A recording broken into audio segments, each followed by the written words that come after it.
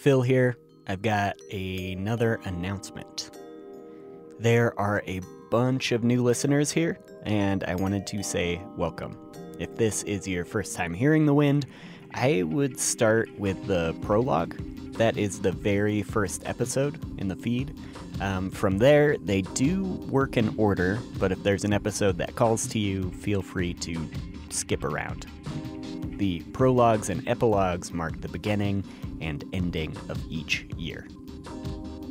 If you are already a Wind listener and are wondering who I'm talking to, I have some cool news.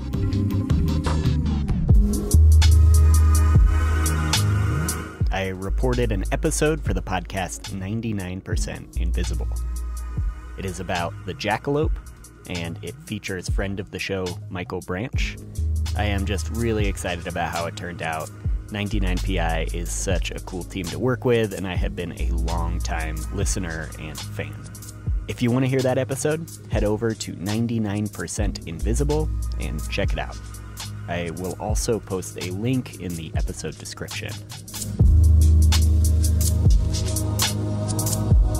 And to the new folks from 99PI, thank you for being here.